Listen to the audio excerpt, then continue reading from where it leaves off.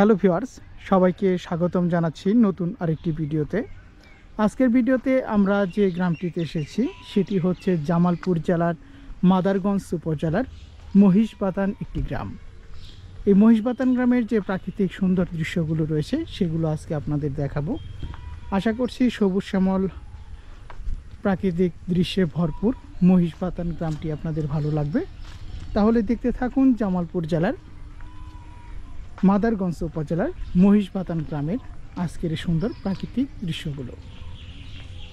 আর আপনারা যারা এখনও চ্যানেলটিকে সাবস্ক্রাইব করেনি তারা নিচে থাকা লাল সাবস্ক্রাইব বাটনটিতে ক্লিক করে পাশে আসা বেল আইকনটি বাজিয়ে দিয়ে অবশ্যই চ্যানেলটিকে সাবস্ক্রাইব করে রাখুন।